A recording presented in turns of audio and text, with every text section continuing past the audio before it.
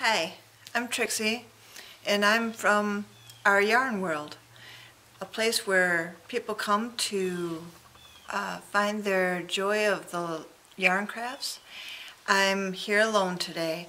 Um, Sarah is with her kids, and um, I am in my own house today um, because she she's taking care of her kids and um, I wanted to show you that I got done with my uncle's Afghan.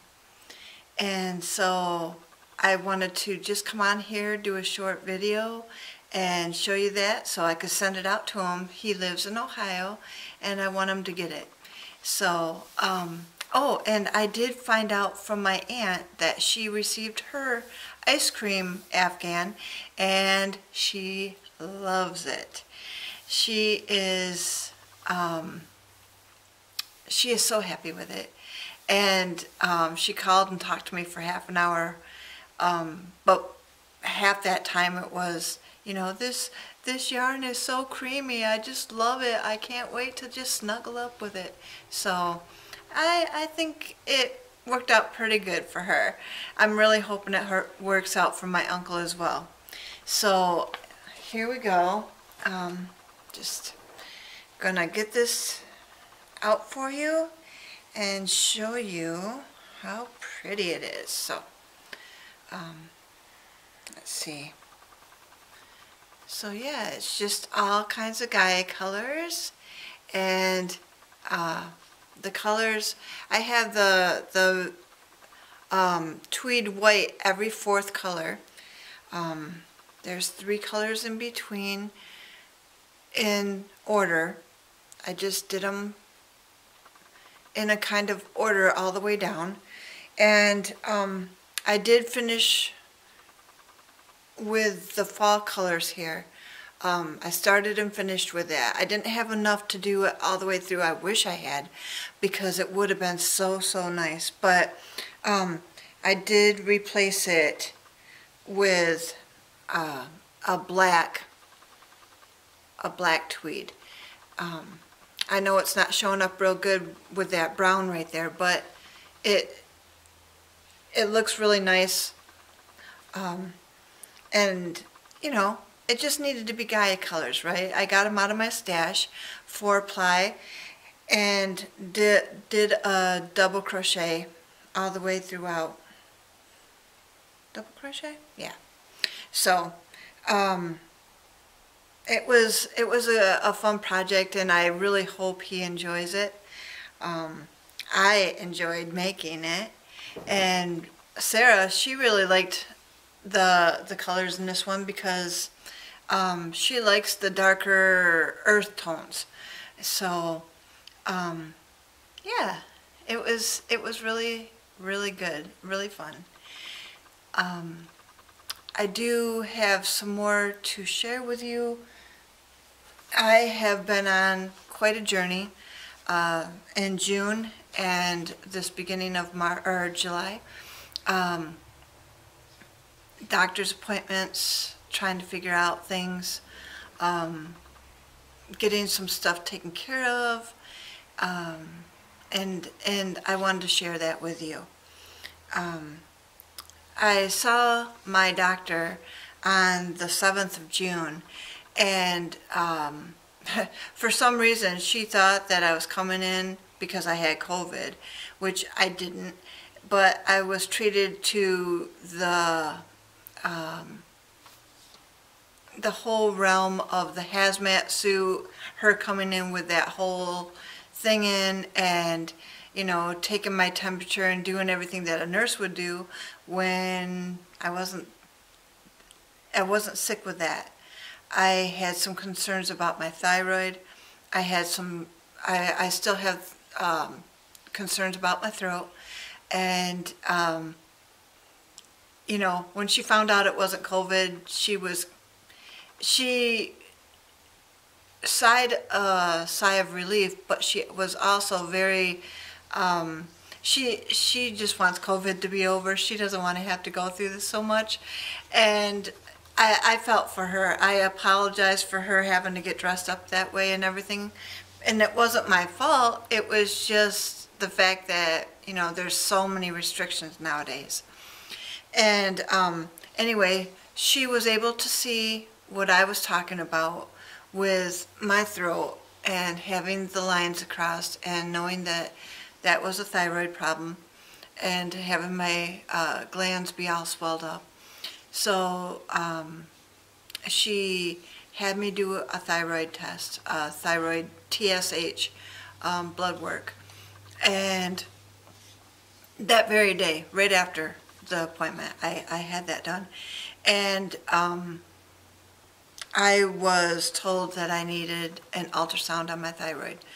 So, but to continue on with the month of uh, June, um, that was that was on the seventh. On the eleventh, I went in for a mammogram, and um, since there's so many people in my family, so many women in my family who've had breast cancer before, it's I, I get it yearly and um, every every year I get a mammogram and a MRI of um, my breast because of having so many family members have the breast cancer. Um, there was no problem, but you know that came out to be okay, just like it did every year, and I'm I'm grateful for that. Um, on the 14th, I had a heart monitor removed. Um, I'd had it in for exactly 40 months. Um, I got it in on a Valentine's Day three years ago and um, was able to get it out uh, exactly to the day for 40 months later. So and it took a little while to get that out. I mean, it didn't take very long to put it in, but it took a long half an hour to get it out because the skin and the muscles had uh, grown around it. Um, but that's out, removed. I don't have to worry about that anymore. Um, their, their concern was that when I passed out in front of the hospital that it might have been a heart issue they wanted to try and find it with the monitor. It never proved anything. And I never did have any more problems after that. Um, on the 16th, I had my thyroid uh, ultrasound. That's a different experience. Um, having your um, throat with that kind of uh, uh, the ultrasound mon or the whatever that thing is that they put on there. It's a very different feeling. Um, you know, I'm kind of used to it on my stomach when I was pregnant with my kids and, and all that kind of stuff. But on your throat, there's there's so many things in there that are, you know, you're breathing and you're swallowing and all that kind of stuff. And it just felt very different to me and but it was the least invasive way to test what was going on and um, that proved because the blood work proved that I needed the ultrasound the ultrasound proved that I needed to go further and see an ENT doctor ears nose and throat um, but to continue on with June on the 19th I had a COVID test done um, a rapid one due to um, having a pulmonary function test coming up. And um, they wanted to make sure that I would be able to do it, that my breathing would be okay to do it. And, um, but before that, on the 21st, I had the sutures from the heart monitor removed. On the 22nd, I had my pulmonary function test. I've never done that before either. I've had asthma my whole life, my whole life. Um, and I have never had this test done and it was very hard for me to do. And the person who was the technician that was doing it kept telling me she'd never seen anyone uh, react to trying to get the test done as I was. Um, but I told her that growing up, my dad, he didn't, uh, he didn't appreciate the fact that um, my asthma was a problem I was going to have to live with. He would, when I was young, he he would lay my sister, brother, and I down on the carpet um, and have us take a nap. And the carpet is full of dust and dust mites and whatever else, uh, dirt, and I would go into an asthma attack and he'd tell me to quit. Just quit it. So I'd always stifle. And I think that's what I was doing during this pulmonary function test. I, I was stifling, and I told the techni- technician this too because it was just like, you know, you're telling me to do these kind of breathing exercises for your machine, and all I want to do is stifle or to stop it. So I had to really think about it and make sure that I could get this test done so that the technician could send it on to whoever had to read it. And I have not found out the, the results of this test yet. Although she did tell me that she thought I needed to see a pulmonary doctor, um, which I have never gone to. I, you would think that in all this 55 years of my life that I would have seen a doctor for my asthma and you know specific specific doctor for that problem, but I never have. And so, um, and I also told her that, you know, when I was in the hospital for it last uh, July, that I, that the technician had told me, the breathing technician, had told me that if the medicines at the hospital weren't working, that they weren't working. And so in my mind, the little inhaler that they're giving me for home wasn't going to work. So I just have not used it. Um, you know, what's it going to do for me if, if the hospital medicines aren't going to work? So, um, and she agreed with that. So, um, yep, that was done on the 22nd. And then on July 6th, a couple days ago, I did go to see the ears, nose, throat doctor. And he said that the nodule that I had on my thyroid, have on my thyroid, is within criteria to see him. But it's so, um, it would be a torture to me to have the fine needle biopsy done at this point because um, it would have to be done with an ultrasound and um, probably be done several times to try and find the nodule. And um, he referred, or he, he preferred that I would wait another year, have another ultrasound done, and see if it had grown any, um, to keep an eye on it um, to see if it had grown any. If it has, then they will do the fine needle biopsy. But if it hasn't, it might not. And he doesn't want to put me through the torture. And I, I had to agree. I kept telling him, "Oh, that's good. That's good. I don't want to do that." So, um, yeah, he he's um, he is convinced that it could be the acid reflux that I have that's causing my sore throat right now. Uh, the roughness in my voice, possibly, you know, I don't know about my swollen glands, but it could be that too. I don't, I'm not sure. Um, but um, I am on a special diet now, and I'm hoping to lose um, some weight, to lose the acid reflux to get my blood pressure back down where it needs to be, uh, maybe even stop these allergies that are going on. Uh, I, I would prefer to get off all my meds altogether, which I just named all the ones, the allergy, the um, acid reflux, and I have two of them that I'm taking for blood pressure.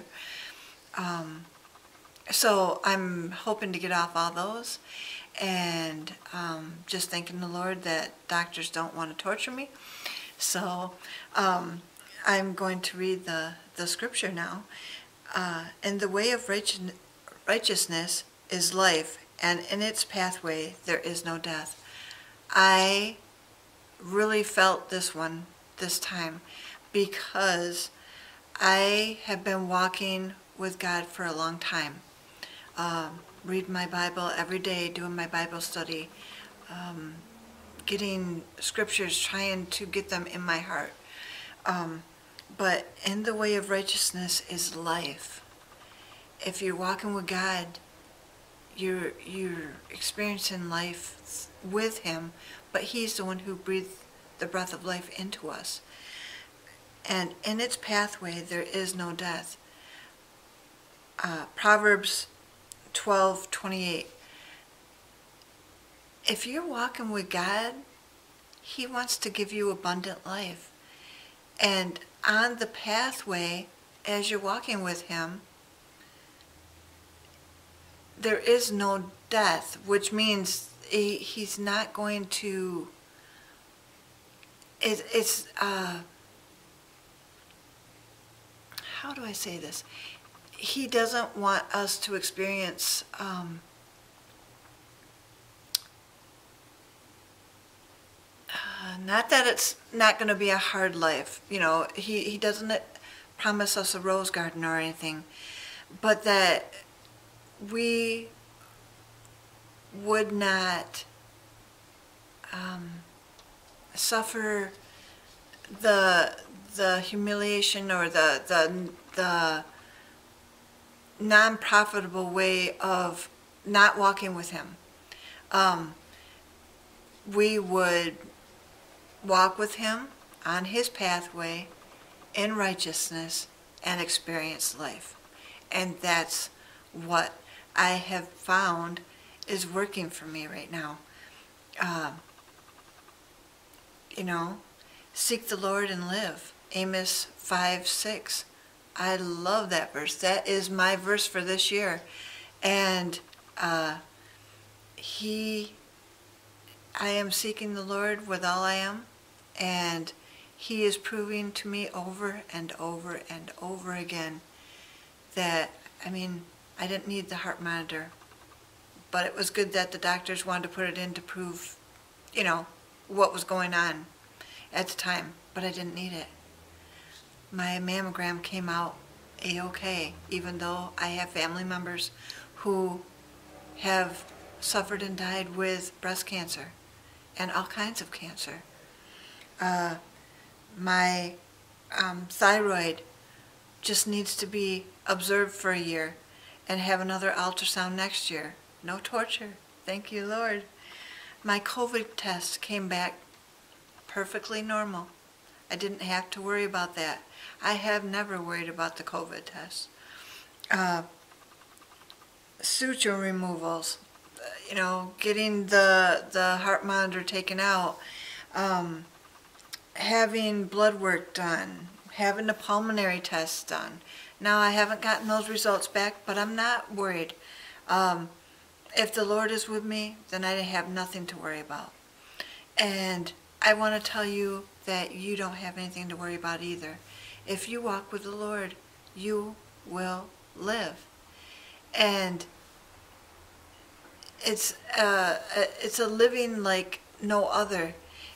He's not going to take all the harmful things away, but he is going to be with you through what whatever you go through. And he doesn't promise uh, good times, but if you walk with him, good times happen. And it's, it's a wonderful thing.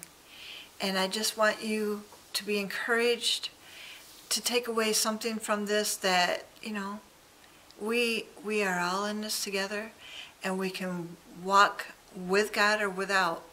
Do you want to walk with Him and live? Have a life? Or are you going to turn away from Him and seek a, a life without him and which is like a death. You just don't want to um, leave him out. He's the one who gave you life, and you should make sure that you're living your life for him. And I'm just, I know I'm being bold today, but you know, I, after all these tests, I'm standing here and I'm I'm saying 100% God brought me through and I am going to be the the warrior that he wants me to be the one to fight for him because he fought for me. And I just want to I want to be the best person he uh, he made me to be. And with that I want you to to know that God loves you and that you can do it and you can do anything with him.